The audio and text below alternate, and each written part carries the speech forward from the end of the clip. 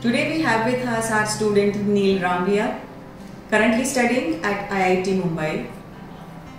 Neil is Mumbai rank 1 in JEE Main 2022. His JEE Advanced All India rank is 187 and he scored 96.5 in his 12th boards. So Neil, good to see you here and uh, uh, we would like you to share your life in IIT Mumbai. So I hope you must be enjoying it. So can you please uh, share that with our students? Yeah, it's actually fun there. We have studies also, we have extracurricular activities also, and like it's like a complete dream world for me. We even have made new friends. We have heated discussions. It's like the genius minds having heated discussions on very different topics. Then we meet our alumni also. There are different fests, so it's total fun there. Yes, that's great.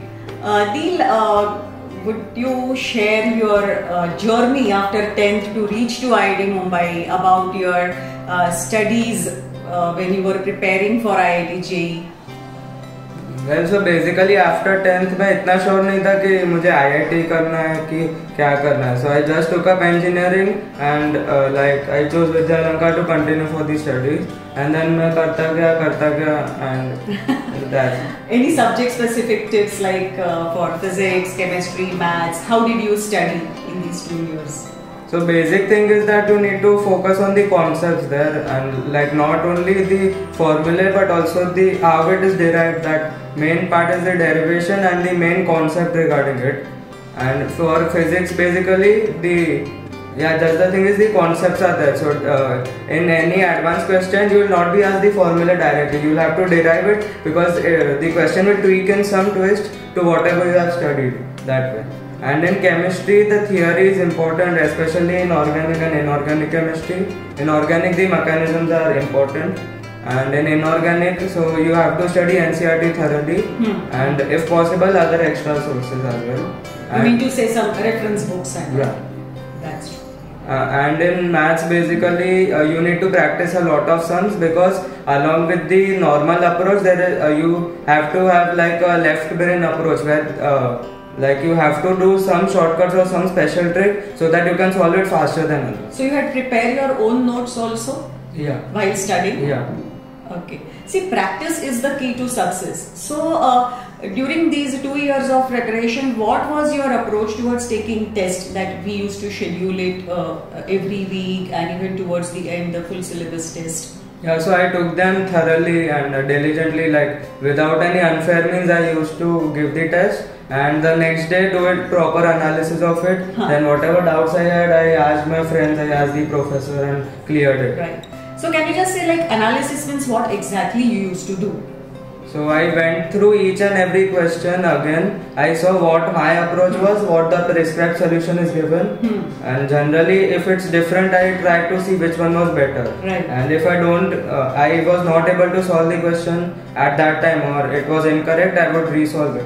So that means every test you that you have taken, you always have done the analysis, resolved the one which uh, okay which you got wrong, Yeah. and the one which you did not attend that time. Yeah. Okay. And uh, the scores that you used to get during these full syllabus FLTs and your final exams, how would you relate those scores? So initially, when the FLT started, I was uh, uh, struggling with the time management part, Huh. and some uh, of the syllabus also was pending. Hmm. But as in I start giving tests, uh, it became kind of a habit and was able to manage well even in the final exam. Okay, so you had a, a fixed strategy uh, towards attempting the subject in a paper. Yeah. So what was your, of course it would be different for every student, but uh, what was your strategy? So my strategy fortunately worked well for me. I don't know about others. Right. Basically, I used to do physics, chemistry, math, but I would uh, change the type of pattern, especially in advanced questions. Okay. For example, if there is a single correct, I would do that first, physics, chemistry, math, Okay. then maybe paratype, and Okay. then um, a multiple correct. Okay. And if the multiple correct has partial marking, I would do it first and then the paratype. That. So that you uh, uh, applied even during the practice test that we conducted, Yeah. and the same you applied uh, at the, final. examination. Okay, okay. So uh, every student, okay, he go through ups and downs during these uh, two years of preparation. So was the case even uh, with you Yeah, during that absolutely. phase? Hmm? So how how one has to manage that particular phase?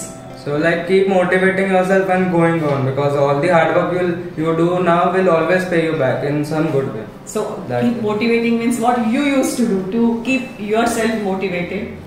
That's what whatever hard work I do right Huh, now, huh. it is going to pay me ahead. So I would So still you keep had that confidence. So okay, I, I will still do better. Yeah. That's great.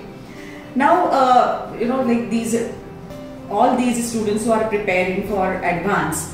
Uh, you need i mean students need to give tests like uh, 12th boards then uh, bitsat JEE mains bitsat JEE advanced and even engineering CET so you excel in every such examination so how did you manage that So honestly, I was only preparing for JEE Advanced by the last Huh, three to huh. four months, and these exams I just gave it like a practice test. Uh, well. so since your basics were clear that has hmm. given you results in Yeah. each and every final examination that's great uh, what message you would like to give to students who are preparing now for these exams that uh, hard work is the key to success. That's true, but students always like to hear it from a student who has already achieved. Okay, so uh, what guidance you would like to? I mean, how they should prepare, uh, uh, what they should do, or what they should not. So maybe I would say you shouldn't waste time a lot in these two years because the time is limited. So maximum time you should put on your studies Hmm. and do it uh, actually do it diligently and be obedient towards your studies and follow what your professor says. Keep doing all the assignments, the tutorials. So be consistent, regular, and honest. Yeah. Because many tests happen even online, so you need to be very honest while taking the test, right? So uh, thank you very much, Neil.